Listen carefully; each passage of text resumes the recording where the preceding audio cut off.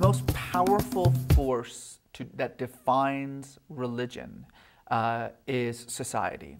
Um, it's very important to understand that religion is an ever malleable thing. It, it, there is no such thing as Christianity. It doesn't exist.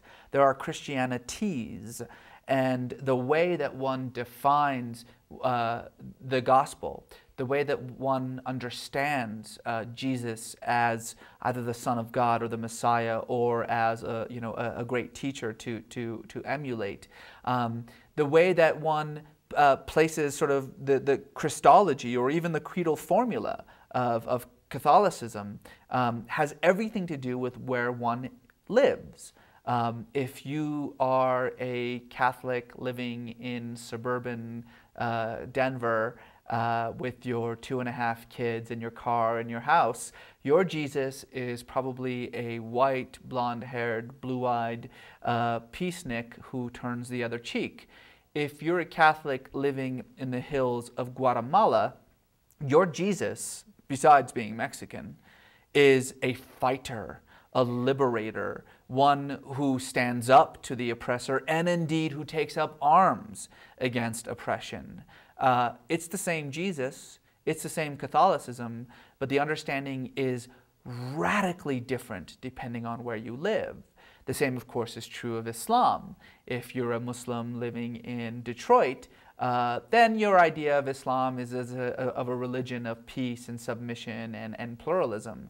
If you're a Muslim living in a garbage heap on Gaza, then your version of Islam is as a religion of social justice. Um, so everywhere that you go, you will see different expressions, different uh, manifestations of what can be called the same religion, the same faith. And I think that we need to understand that uh, because, in a way, too often we look at the differences between religious communities as being defined as differences in religion. And frankly, it's more often differences of community than it is of religion. Religion is an ever evolving process.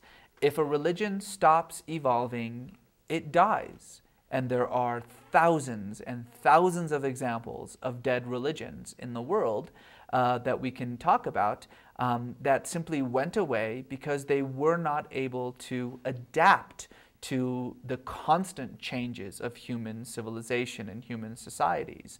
The reason we talk about the great religions, Islam, Christianity, Judaism, Hinduism, Buddhism, uh, these five massive world religions that have been around for thousands of years and, and that have billions of worldwide followers, what makes them great is because they're constantly adapting, they're constantly evolving. That's why they, they continue to exist. The moment you stop adapting, the moment you stop evolving to whatever social, political, economic, uh, or cultural landscape that the religion finds itself in, the that's the moment in which it goes away. When talking about Islam, particularly as it's experienced in uh, the Middle East, I think you can't talk about uh, the, the rise of the Islamic State or the rise of jihadism or any of the various political or economic or religious conflicts that are taking place in that region without first starting with colonialism.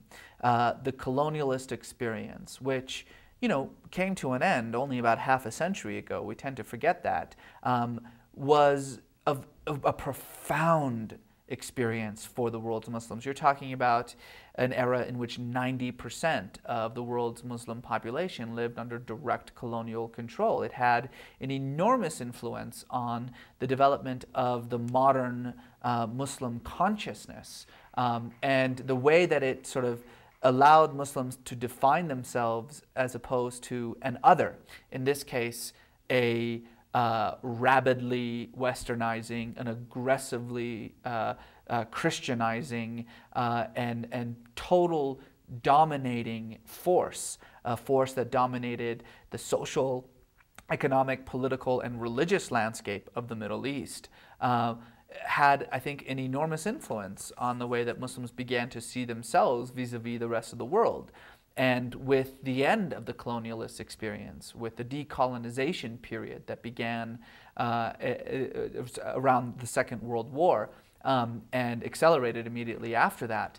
Um, and this geopolitical fragmentation that was left behind, in which Muslim populations who had hitherto thought of themselves as uh, members of a worldwide community of faith were now suddenly forced to think of themselves as citizens of nation states, nation states that in most cases were created through arbitrary borders and totally fabricated nationalities with the sole purpose of making these uh, parcels of land more easily uh, divisible and, and, passed, and passed along amongst the, the colonialists, whether they be French or Dutch or English or, or Portuguese or Spanish. Um, the idea that now you had to sort of define yourself in this, in this incredibly unfamiliar way, um, I think really rattled uh, a lot of Muslim civilizations. Um, some of them were able to do so uh, without much uh, uh trouble, uh, but many Muslim states, uh, particularly in the Arab world, I think really are to this day having a very difficult time trying to define what exactly it even means to be a Muslim state. Does it mean that you have to have Muslim governance? Does it mean that you have to be ruled by Islamic law? Does it just simply mean that you're a majority Muslim state? Uh, what, what is it? How does one define oneself? And I think that particularly in the language that we use, when we talk about the countries in that region as Muslim states, it doesn't help because frankly, I can't imagine what Morocco has in common with Saudi Arabia or what Saudi Arabia has in common with Turkey or what Turkey has in common with Indonesia Absolutely nothing. Not language, not culture, not ethnicity, not customs, not religion, and yet we refer to all of them as Islamic states. Uh, so I think it's not just Muslims themselves that are having a hard time defining uh, post-colonial um, Middle East uh, and, and what that means. I think the rest of the world is having just as a difficult time as figuring it out.